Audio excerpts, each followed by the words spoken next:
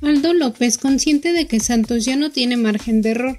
El mediocampista Aldo López comentó sobre este compromiso, señaló que ya no existe el margen de error para Santos, así que solo tienen una alternativa y es ganar a cualquier precio, y así serán los tres partidos que les restan por disputar en esta fase regular del torneo Clausura 2024.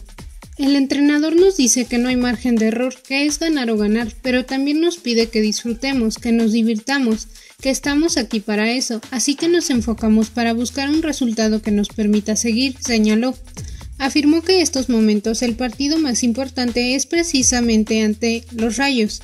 Es ir a ganar o ganar. Ante América no logramos lo que queríamos, así que no quedamos conformes. Por eso ahora nos estamos preparando de la mejor manera mentalizados completamente para ir el viernes a las 9 de la noche para traer la victoria y seguir con aspiraciones. Del rival, Aldo mencionó al técnico Eduardo Fentanes, a quien conoce bastante por el tiempo que trabajó en Santos Laguna, desde fuerzas básicas hasta la dirección técnica del primer equipo, así que saben de su propuesta de juego, pero independientemente de lo que se conozcan mutuamente es con la idea propia. Necaxa es un rival que ha estado bien en el torneo, es intenso, pero estamos trabajando para atacar sus debilidades y hacerles daño. En lo particular, Aldo López compartió su sentir en cuanto a la adaptación al estilo de Nacho Ambriz, lo que le ha permitido sumar minutos. Me ha dado mucha confianza desde el partido ante Cholos, me he sentido bien físicamente.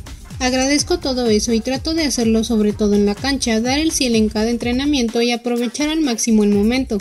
Desde su perspectiva, el partido ante el América le dejó al equipo lagunero buenas sensaciones, pues afirma que por lapso se vieron bien ante un gran rival que es el actual monarca del fútbol mexicano. Y con respecto a su colaboración en el primer gol de Estefano Carrillo en Primera División, el mediocampista aseguró que eso lo dejó muy contento, satisfecho por el equipo, por el esfuerzo, así como por Fano. Le tocó ahora a Estefano, lo viene haciendo bien, es darles confianza a los jóvenes, que aprovechen esas oportunidades que da Nacho.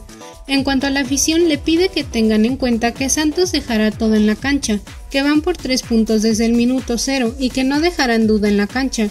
Santos trabajó este miércoles por la mañana en el Estadio Corona, lo mismo hará este jueves para luego viajar a Aguascalientes en vuelo especial.